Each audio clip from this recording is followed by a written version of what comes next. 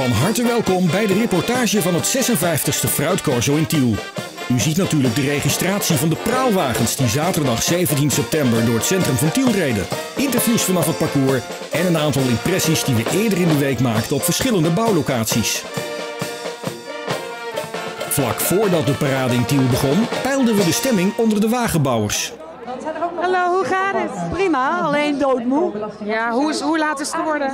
Eh, vijf uur geloof ik. Vijf Die uur. mevrouw daar met die bril op, die weet meer. Ja, maar goed, u was erbij. Nee, ik was om vijf uur er niet meer bij. Nee, het was klaar. Ja, Voor. het genoeg. Ja. Maar hoe heeft de wagen het gebracht? Ja, prima. Ja? Ja, Alles gelukt? Hij zit dicht? ja, hij zit dicht. Gelukkig wel. En op tijd binnen? En op tijd binnen. Schade geleden? Niet dat ik weet. Nee. En hoe gaat dat nou zo meteen voelen als hij hier zo meteen voorbij komt? Ja, koude rillingen. Ja, kippenvel. Ja, zeker weten. Mooi hè? Ja. Ja, korsenkoorts hè. Ieder jaar zeg ik, ik ben dood en doodmoe. Maar als het zover is, dan eh, zijn we er weer. Hoe gaat het? Goed, Hoe is het gegaan? Gisteren? heel goed. We waren om 6 uur klaar en eh, het is een hele mooie wagen geworden. Ja, En hoe voel je je? Eh, moe, Ja. Maar heb je er zin in? zeker weten. Hoe gaat het met jullie? Prima. Ja, is het laat geworden vannacht? Zes uur. Zes uur? Ja, En hoe voelt het zich? goed. Ja, maar prima. Zit nog een beetje energie in het lichaam? Jawel. Jawel. Jullie hebben er zin in? Ja, hebben we heel veel zin in. Vertel, hoe gaat het met je? Eh, prima hoor, maar wel een nachtje overgeslagen met slapen. We waren vanochtend om 6 uur eh, klaar. Naar huis gegaan, ontbijtje gedaan. Eh, maar niet meer het bedje ingekropen. Dus vanavond extra vroeg naar bed. Maar goed, dat is vanavond pas. Op het parcours troffen we Willem-Jan Stegeman, tegenwoordig secretaris van regio Rivierenland en oud-wethouder van de gemeente Culemborg. Wat betekent het fruitcorso voor deze regio? Nou, het Fruitcorso is eigenlijk het voorbeeld van iets wat we met alle gemeenten samen ons kunnen presenteren. Waar we goed in zijn, namelijk in de zogenaamde agribusiness. Oftewel fruit en alles wat met landbouw te maken heeft, champignons, maar misschien zelfs wel eh, een aantal bloemen. En dit Corso laat zien wat, waar wij goed in zijn in de regio. Het bindt de tien gemeenten. Ook al doen ze niet allemaal even intensief mee, toch met een heel mooi evenement. We verkopen de regio, en dat is precies waar de regio voor staat, om meer toerisme aan te trekken naar deze, naar deze omgeving. Ja, en ehm, wat vindt u van de sfeer, hoe het allemaal nu tot nu toe eraan toe gaat? Het is een heel sociaal gebeuren. Het is gewoon een heel leuk, eh, leuk evenement. Ik vind het ook altijd fantastisch om te zien hoe al die wagenbouwers in de weken, maanden voorafgaand aan het Corso eh, samen bezig zijn. Dat je ziet dat mensen van verschrikkelijk verschillend plumage, maar ook heel verschillende deskundigheden, om het maar zo te zeggen. Hè? Fruit plakken heb ik nog nooit mogen doen. Want ik, tenminste niet op de wagen, ik mag het wel voorlijmen. Maar dat, dat vergt toch een secuurheid en een, eh, en een kennis. En als je dan lassers hebt en, en mensen die technisch inzicht hebben... en je ziet het allemaal door elkaar heen krioelen. Het is een sociaal evenement voor elke gemeenschap van je welste. En dat hebben wij hier in de regio. Dat zetten wij hier gewoon op de kaart, hè? Dat zetten wij hier gewoon op de kaart. En hier mag men laten zien wat men kan eh, de afgelopen tijd. Dus het is gewoon, eh, nou ja, wat ik net al zei, gewoon verschrikkelijk leuk. En als je dan ziet hoeveel publiek daarop afkomt. Ja, de regio zet zich gewoon op de kaart. Dus geslaagd. Heel erg geslaagd. En het zou leuk zijn als alle gemeenten zich echt bewust zijn van de kracht van dit soort evenementen. En ik heb het idee dat het de goede kant op gaat. Maar de gemeenten mogen best eh, in hun hart sluiten. Dit soort evenementen. En we hebben er natuurlijk meer, maar ook dit soort evenementen. Waar heel veel gewone mensen op afkomen. Ja, het is gewoon fantastisch. En fantastisch is het. Aan Marcel Melissen, wethouder van de gemeente Tiel, vroegen we wat het fruitcorso nou betekent voor de regio. Nou ja, zoals je ziet, feest, iedereen blij en gespannen, want gaat mijn wagen winnen. En het is een feestje voor de hele regio. Het is zo leuk om alle dorpen hier te zien. En het is natuurlijk fantastisch, ook fantastisch weer, dus eh, ja, wat betekent voor ons? Feest. En wat- voor jou zelf persoonlijk? Nou, ik blijf me verwonderen over de inzet van alle vrijwilligers. Hoe lang ze werken aan die wagens, wat ze ervoor moeten doen. Soms in hele bijzondere omstandigheden. Dit jaar was extreem heet, maar ze zijn er en ze staan er. Ja, dat vind ik echt tof. Jozan Meijers, eh, gedeputeerde van de provincie Gelderland. Ook aanwezig bij het Tielse Fruitcorso. Tuurlijk. Ja, wat betekent dit voor de provincie? De provincie is altijd heel erg blij met dit soort evenementen. Want hier zijn heel veel mensen bij betrokken. Kijk maar eens om je heen, hè. Maar ook, dit laat iets zien van de streek. Fruit, dat is natuurlijk de Betuwe, Rivierenland. Ja, uniek in Nederland. Dit is inderdaad uniek in Nederland en daar zijn wij heel trots op. En nou weet ik toevallig dat u ook in Tiel woont. Dus u bent hier ook gewoon echt als Tielse bewoner. Dat klopt. En daar geniet ik enorm van. Wat, wat vindt u van, van de beweging, al die mensen samen? Ik vind het heel belangrijk dat mensen zo toewerken met z'n allen naar deze dag, dit weekend, deze week. En dat ze daar elkaar ook in vinden en vasthouden. En je ziet ook dat er iets ontstaat. Mensen onderling die gaan elkaar ook goed kennen. En als het nodig is, kun je elkaar dan ook opzoeken. Dus het heeft een effect door het hele jaar. Geweldig hè? Ja, enorm. Gaat u ook genieten? Ik ga genieten, zeker. Mooie woorden van de gedeputeerde van de provincie als het gaat om dit unieke evenement. Het jureren van het Fruitcorso is serieuze business. Hoe gaat dat nou eigenlijk in zijn werk? Ik sta hier bij teamleider van de jury, George Brandt. En aan jullie dus de zware, schone, moeilijke taak om de, de, de, de oordelen over de wagens te gaan, eh, gaan maken. Absoluut. Het is een eh, hele zware taak weer. Soms denken mensen wel eens het is een eh, hele uitgemaakte zaak, maar dat is echt niet zo. Eh, alles, wordt, eh, alles komt zeg maar langs, van idee, van vormgeving, kleur. Met name hier in het fruitcorso natuurlijk de producten, is heel van belang. Hè, bij heel veel corso's in Nederland geldt dat niet, maar hier in het fruitcorso natuurlijk is producten ja, heel van belang om daar goed een weging over in te maken. En zijn jullie het nou altijd eens met elkaar? Nee, nee, nee. je- kijk, je moet voorstellen, er zijn negen juryleden, negen vakjuryleden. Eh, als je een clubje hebt van drie juryleden, dan heb je drie meningen. Maar bij eh, hoe meer juryleden, hoe meer meningen. Dat is gewoon zo. Kijk, de een vindt groen mooi en de ander vindt blauw mooi, bij wijze van spreken. Dat heb je onder de juryleden ook. Ja, en dan worden al die punten bij elkaar opgeteld en dan komt daar een gemiddelde uit of zo. Ja, maar het is niet zo eenvoudig. Eh, s ochtends is het zo dat de jury, de negen juryleden worden in drie groepen verdeeld. Evenwaardige jurygroepen zijn het dan ook. En eh, zij hebben een eerste schouw gedaan van ongeveer een half uur. En daarmee hebben ze al een mening gevormd zeg maar, van wat zij ervan vinden. Eh, maar dan gaan ze met elkaar in discussie. Dus ze proberen elkaar te van overtuigen van waarom dat zij bijvoorbeeld, of dat ze iets gezien hebben wat een ander niet gezien heeft. Hè? Dus ze proberen elkaar te van overtuigen van de schoonheid van de wagen. Ja, bijvoorbeeld. Lijkt me echt lastig. Het is heel lastig. Het is heel hard werken. Het is heel veel punten. Het is een heel uitgebreid juryboek hebben we. Dat echt alles aan bod komt. Eh, had iets toegepast moeten worden of had het beter weggelaten kunnen worden. Alles wordt zeg maar behandeld. Dat zit wel snor met die jury. Eerder deze week namen we een kijkje in de keuken bij de bouwplaatsen van Culemborg en Maas en Waal. De laatste loodjes van dit Corso-seizoen. We staan hier in de hal van Culemborg, een, he- een hele hete hal. Pieter Meeuwissen, ontwerper, samen met Thea van Dalen. Vertel, hoe gaat het hier? Eh, het gaat best goed. Alleen ja, het is wel eh, een beetje puffen eh, alle paar dagen. Dus eh, dat gaat wel een beetje doorwerken zo, zo af en toe.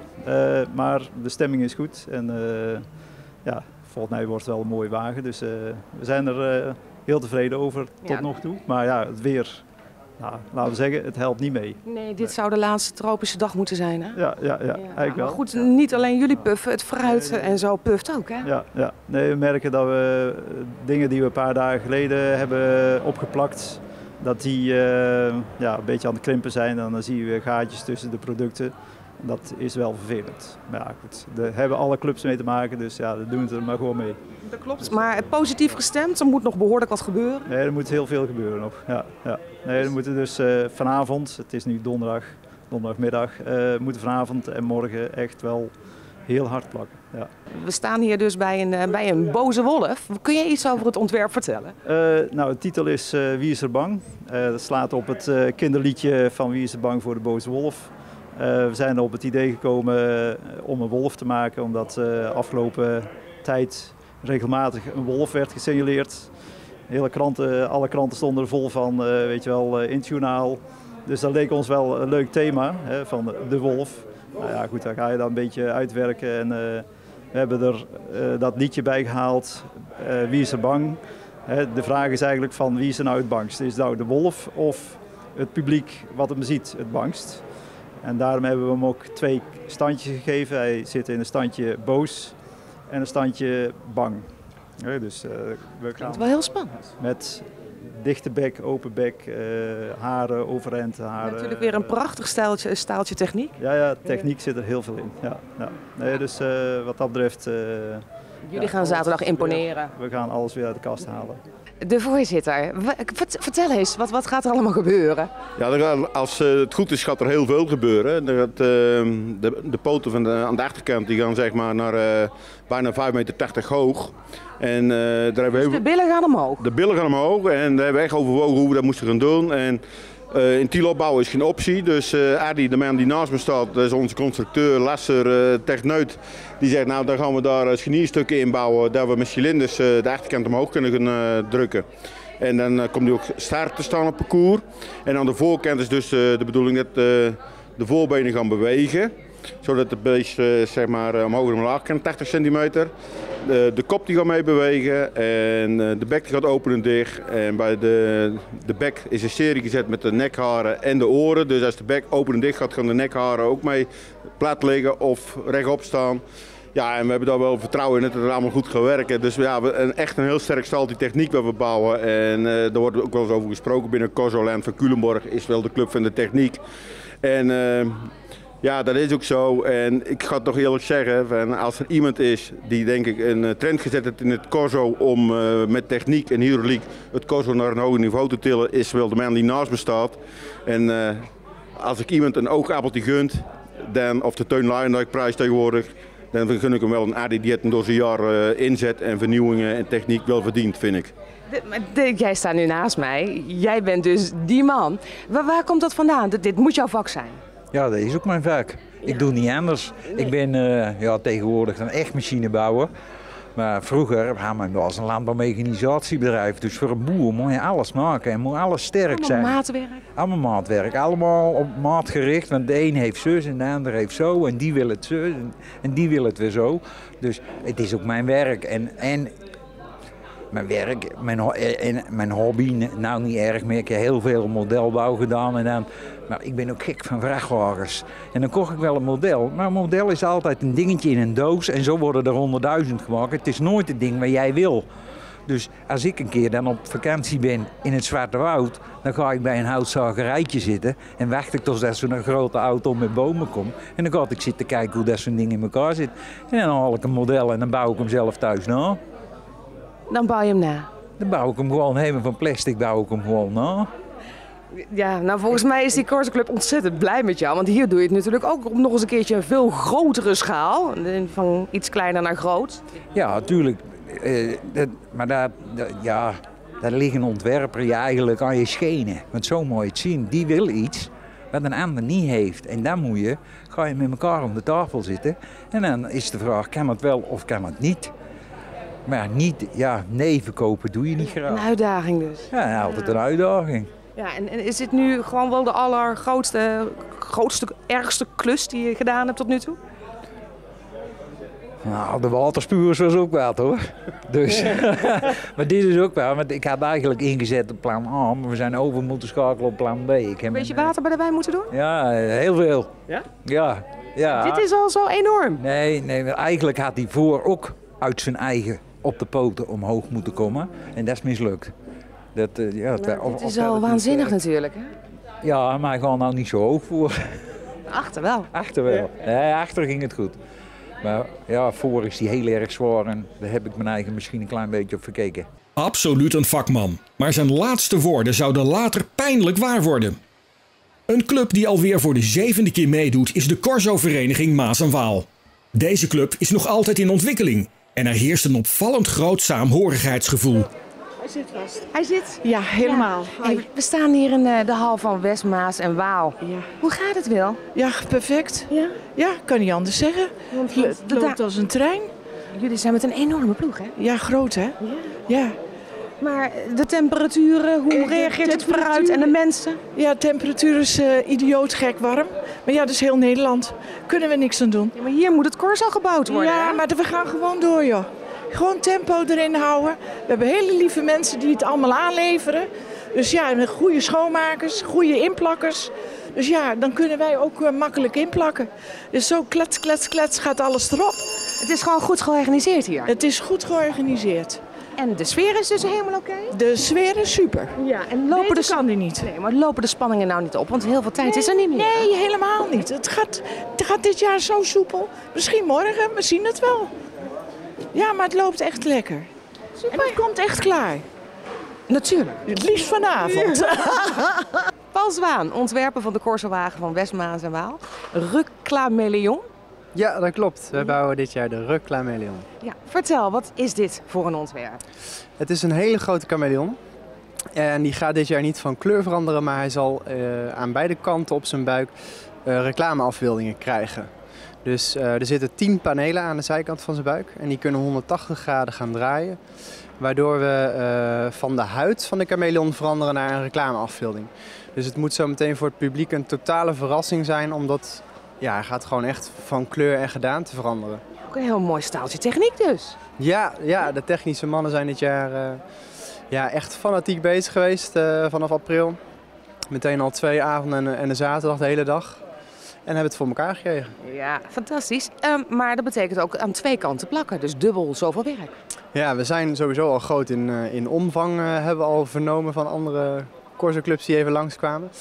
En ook nog eens inderdaad twee kanten. Ja, maar daar is eh, wel rekening mee gehouden met de producten. Dus er is ook wel veel gestrooid.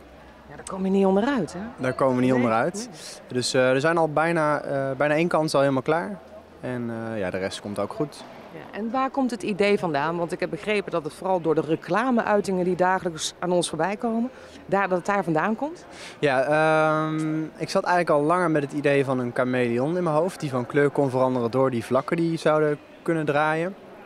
Maar dat vond ik nog niet eh, spannend genoeg. Ja, ja. Ik dacht, daar kan nog meer mee eh, gedaan worden. En toen stond ik bij een tankstation te tanken en daar hadden ze een, eh, een tv-schermpje waar ze de hele dag reclame draaien. Want tijdens het tanken moet je toch wachten. Dus dat is weer een sluikse manier om eigenlijk reclame aan de man te brengen, zeg maar. En toen ben ik gaan denken, hoe ver gaat die reclame eigenlijk tegenwoordig? Tada! En toen kwam de reclame Leon. Ja. Ja. En zitten jullie een beetje op schema? Gaat het allemaal lukken? Ja, er zijn nog wel grote vlakken die moeten gebeuren, maar het zijn ook wel grove producten, dus dat legt makkelijk weg. Ja, en ik heb begrepen dat de sfeer helemaal goed is. De sfeer is top. Ja. Genoeg mensen? Genoeg mensen, zelfs overdag zitten gewoon bijna 40 man. Ja, dat kan niet, kunnen niet veel clubs zeggen volgens mij. Nee, nou dat zegt wel wat. Hè? Ja, ja, en ze hebben er allemaal zin in. Ja, nou, de laatste loodjes, hopelijk blijft de temperatuur nou een beetje lager. Ja, want de producten gaan wel hard. Ja. Er hing een prima sfeertje in de binnenstad van Tiel tijdens het 56e Fruitcorso, waar zo'n 50.000 bezoekers op afkwamen. De hoogste tijd om te gaan kijken naar de 19 praalwagens. Het spits wordt afgebeten door buren, Corso buren die al jaren hoge punten scoort. Ze hebben een prachtig ontwerp. Dennis Voorret en Jochem Schoot zijn daarvoor verantwoordelijk. En dat is een ode aan de Betuwse hoogstammen. Nog één keer wordt de ladder opgezet en worden de appels en de peren met de ladder geplukt. Een ode dus aan de Betuwse hoogstammen, de Betuwse stamhoofden.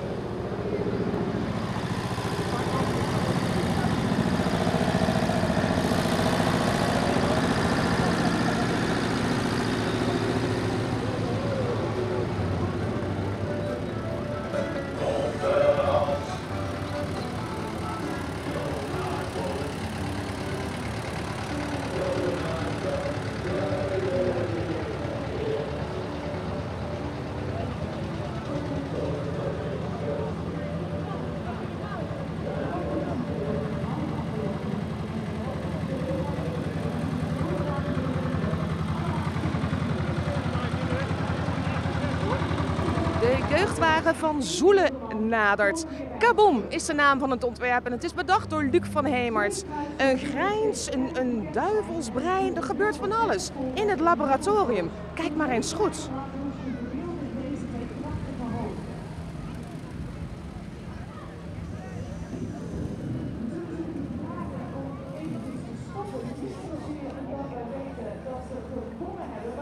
De grote wagen van Zoelen is in aantocht. De ontwerper is Jari van Winsen en het ontwerp heet Verbloeding. Het is een heel ander, nieuw, bijzonder ontwerp. Volledig out of the box bedacht en beplakt. En nou, u moet het eigenlijk zelf gaan bekijken. Het is een beetje gruwelijk, een beetje akelig, een karkas.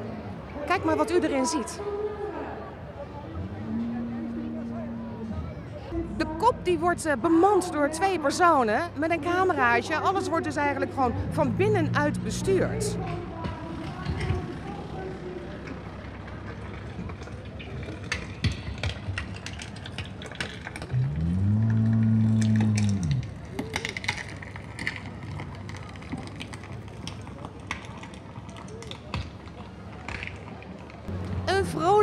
Komt eraan van de Corso Club Geldermalsen, de jeugdwagen. Drie ontwerpers, jonge mensen, Lau, Larissa, Thijs en Sydney, hebben de hamster van Varen. Een hele vrolijke wagen bedacht. Kijk maar.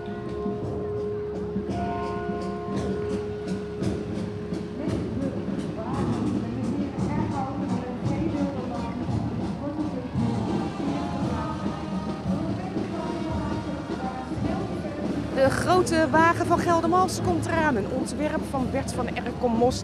En het ontwerp heet The Ladies of Alhambra. En het gaat over dansen. Het gaat over buikdansen. Het gaat over dromen. En over wilde en luxe. Doe uw ogen dicht en droom mee. En waan u in die wereld van wilde. De wagen van Zoenen. De grote wagen van Zoenen.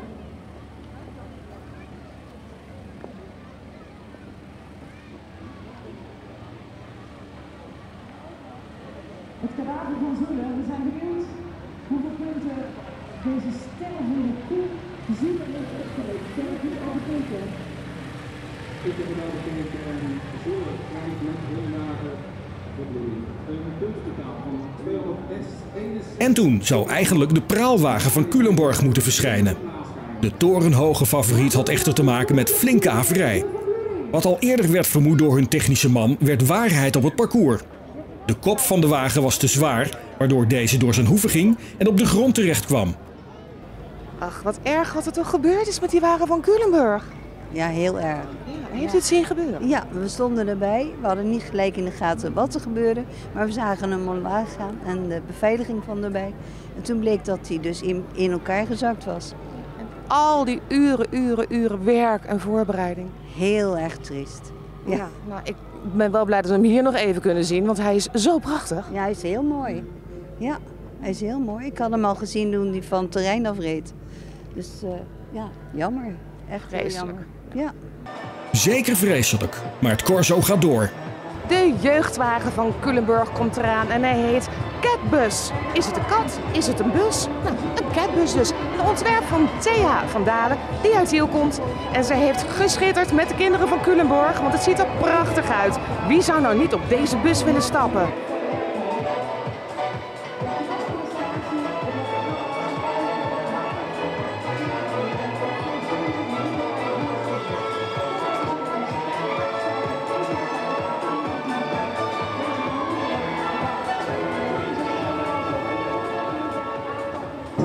Wagen van buurman Tricht. Cicade, een ontwerp van Marijke van Beurden en Alfred Hogendijk. Laat u betoveren.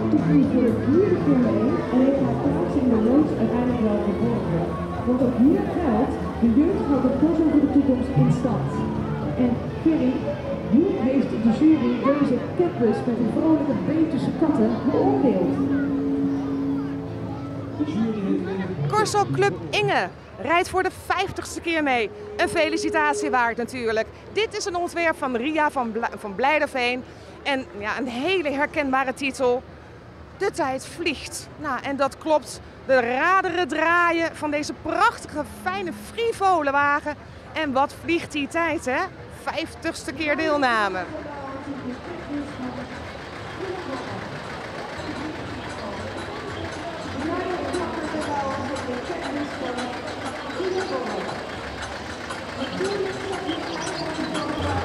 Corso Club Westmaas en Waal. Een ontwerp van Paul Zwaan. Reclame Leon.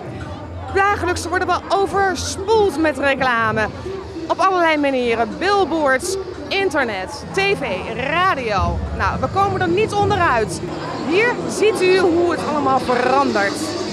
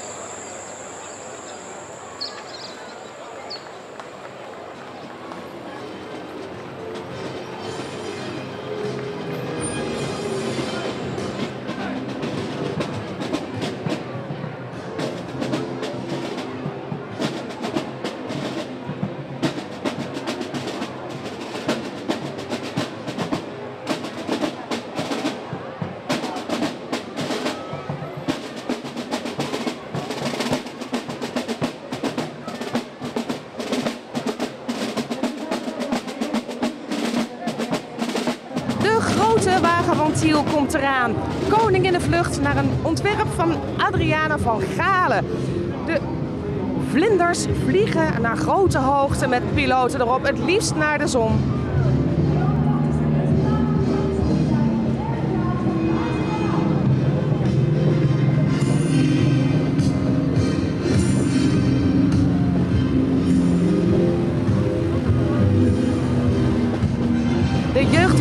Passawaai viert feest, want ze doen namelijk voor de vijfde keer mee. De ontwerper Sven van Wijk heeft deze prachtige wagen gemaakt en die heet Feestvirus. Nou, en dat het feest is, dat kunt u echt wel zien.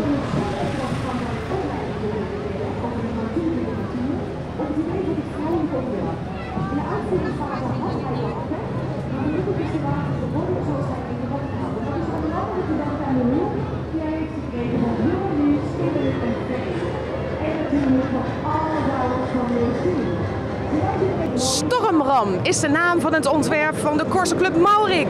De ontwerpers Wilco van Schaik, Annette en Helga Schimmel zijn hiervoor verantwoordelijk. De stormram die ramt door de natuur met grote krachten neemt alles mee wat er aan papier en zooi op de grond is achtergebleven. Iets waar iedereen dus verantwoordelijk voor is.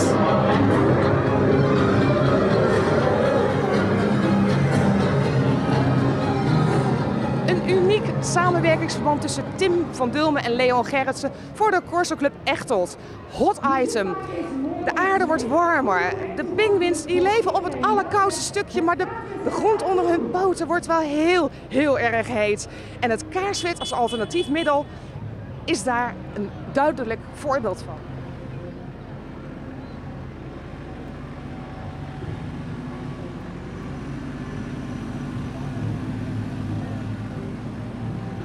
Corso Club Echtelt komt eraan. Ik zie, ik zie wat jij niet ziet. Een ontwerp van Theresa van Lavieren en Henko van Doren. Passawaai heeft gekregen van de jury een puntentotaal van 253,3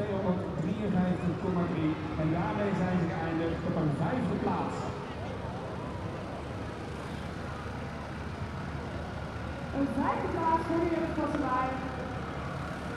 En u ziet dat er een andere al een conclusie trekt. Is het een dier of zijn het mensen? Een soort van transformatie.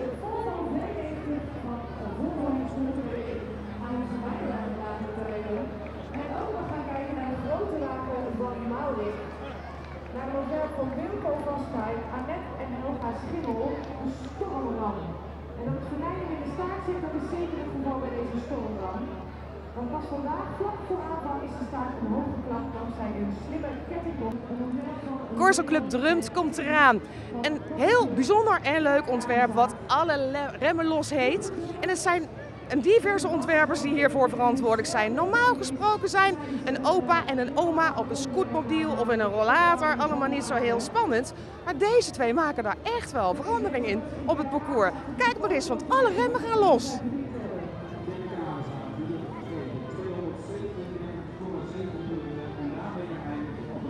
De grote wagen van Drumt komt eraan. Chiroptera, een ontwerp van George Kessels. We wanen ons in de gewelven van een grote kathedraal. En er gebeurt van alles onder.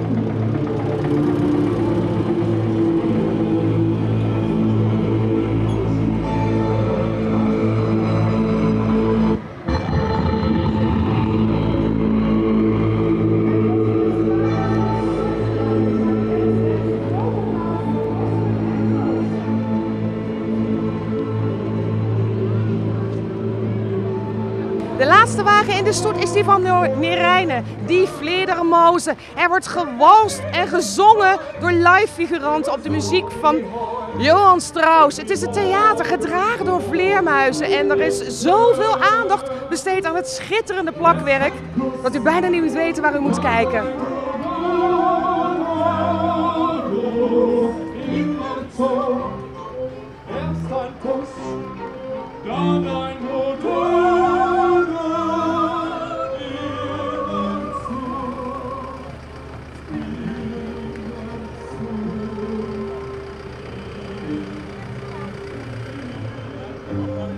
Dat was de laatste wagen. Buren heeft gewonnen. Die staat op nummer 1 en de rest van de uitslagen ziet u allemaal zo in beeld.